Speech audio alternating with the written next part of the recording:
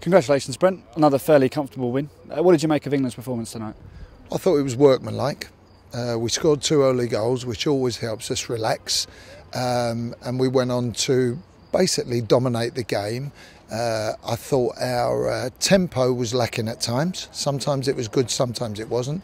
And I thought really we needed to concentrate much more on our final ball in and around that final third. We would have scored a lot more goals had we been able to do that. You said before the game that it might be a game where Turkey come out for a bit of revenge following the 8 0 defeat last month. So I guess it was one of them ones where the sooner the first goal came, the better. Yeah, well, I think that always relaxes you, particularly again, you know, we dominated possession, which is something we're trying to work on and trying to do. Um, and you need a goal to just settle you down a bit, you know, to, to be a reward really for all that possession, which we got. Um, but we do need to be more clinical in the final third. The final pass, the final cross, we need that's a work in progress for us.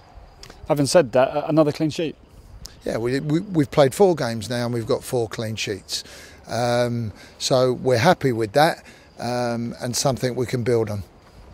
And overall, um, you've proceeded over the last four victories. Um, you must be happy with how things have gone. Well, I mean, really, after the unsettling times of the summer and, and the unsettling period now, it was just a question of me supporting the girls in order to perform. Um, credit to them, they've got 12 points, they've started the group off really well, and now that puts pressure on the other teams because we were saying at the end that they can't afford to relax now, other teams. They've really got to, to win all their games. So you're in a very strong position going into the new year now? We're in a strong position halfway through, uh, but nothing's settled until you've got the points to win the group.